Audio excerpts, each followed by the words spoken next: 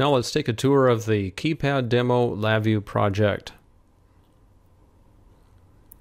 I have the 4x4 keypad attached to connector B. Alright, the main VI is running at the moment. Let's try some single button key presses. I'm just randomly pushing buttons on the keypad right now. Can also try some multi-button presses. Those are two at a time. Try three or four at a time A good bit of variety there.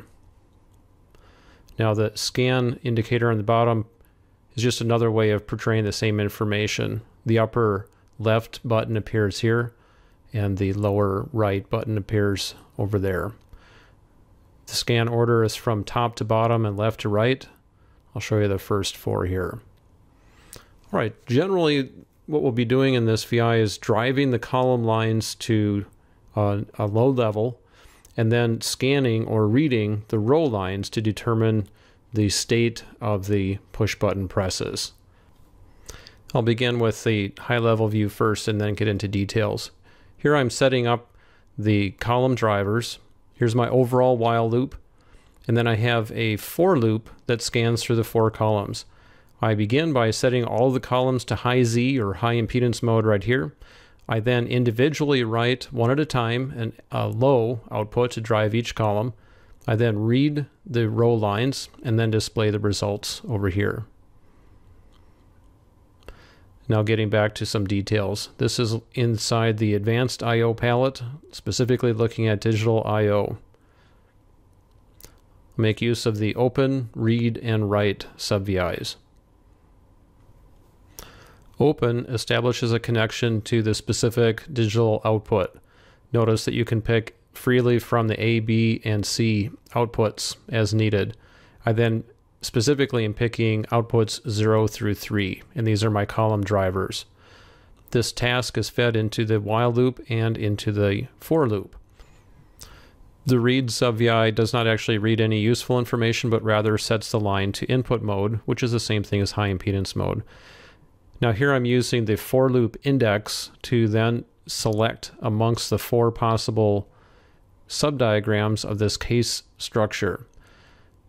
Each one contains a write, and it's to a specific channel, and it writes a low value. That's the false constant. The scanning process then requires that each of these lines in turn is driven low.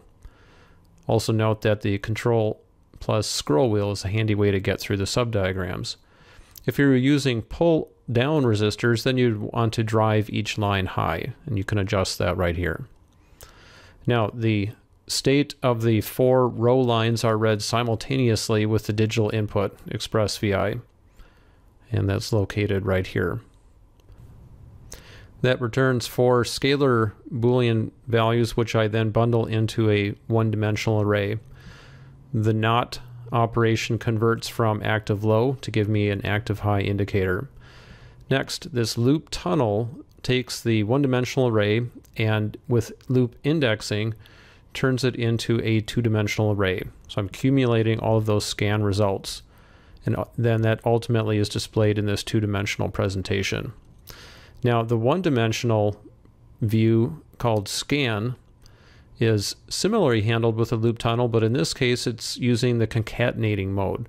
And that means that the individual 1D arrays are simply strung together to make one long array presentation this way.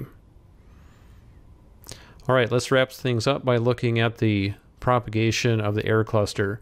Here I'm using the merge errors node, and that's available right here.